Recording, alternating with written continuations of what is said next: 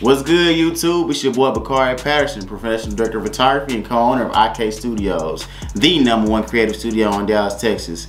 And I am lit today because the pack then came in. You know what I'm talking about? Uh, I have an, light that I have been checking out. I've been um, doing a lot of different research on, and today it is finally here. It is in my hands. So I'm gonna check it out and give you a detailed breakdown of the GVM 800D RGB. Let's get into it.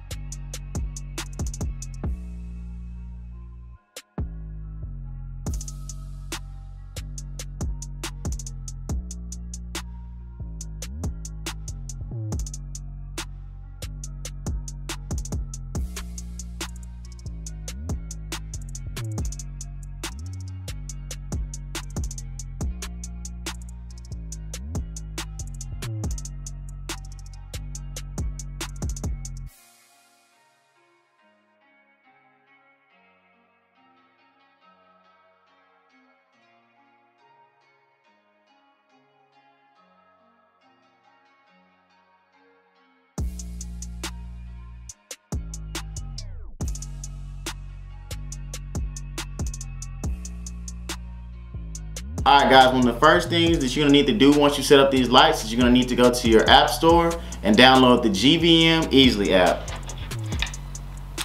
Once you get inside the GVM app, you're to make sure that your light is set to the correct channel on both your phone and on the light. It needs to be in Wi-Fi mode. Right now I have it set to channel 1 and the light is set to channel 1 as well. So I, my key light right now uh, is pretty bright. It's like a big ring light a real soft light. But I'm gonna see if y'all be able to pick up some of the colors because it's saying it's loading up right now. It just said I con I'm connected.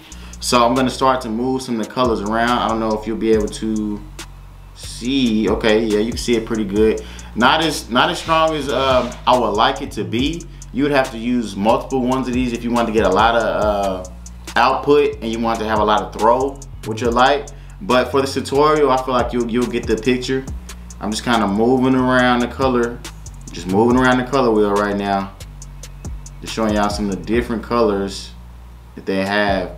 The cool thing about these lights is you're able to adjust not just the hue, but also the saturation of the color. And you also can adjust your color temperature. It can go from 3200 Kelvin all the way to 5600 Kelvin. So I'm really impressed with these lights.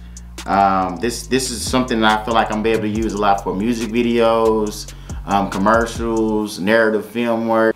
All right, guys, now that we've went through the color temperature of these lights, let's get into some of the lighting effects built into these lights.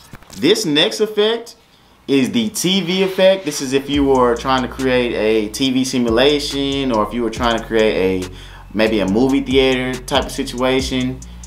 This TV light effect, I'm telling you, this, this is the way to go hands-free, you know what I mean? You don't have to adjust anything, you just switch it to that mode and it does it on its own. All right, this next effect is the bad bulb effect, all right? So if you're trying to go for anything creepy, horror film, you know, this is this give me them horror film vibes. Okay, so this next mode is the party effect. So let's just say if you were doing some type of event or you were trying to create some type of party scene, club scene, this will be great for that. It's just gonna cycle through the colors real fast, almost like to the tempo of a music. This one's a little bit more subtle. This is the disco effect. Um, it just seems like it's got more of a, you know, maybe a, a disco tempo, uh, but pretty much the same effect. It's just a little bit quicker, uh, but smoother somehow too. Though I feel like they ease into the colors a little bit smoother on this disco effect. This effect is lightning. Perfect if you're trying to create some type of thunderstorm scene. You're trying to simulate some lightning. You add a little bit of water on the window Put this bad boy or a couple of them outside the window and you have lightning, just that easy. I think it also could be a dope effect for like, you know, music videos, uh, any type of narrative creative work, you know, just trying to give a different kind of effect.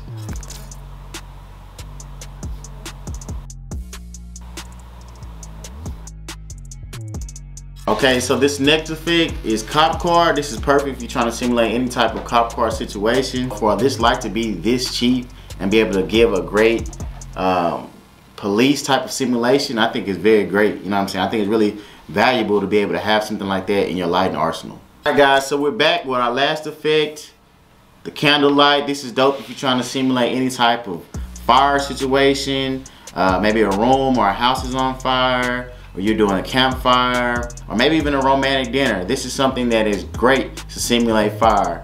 Overall, I'm very satisfied with my purchase right now with the lights.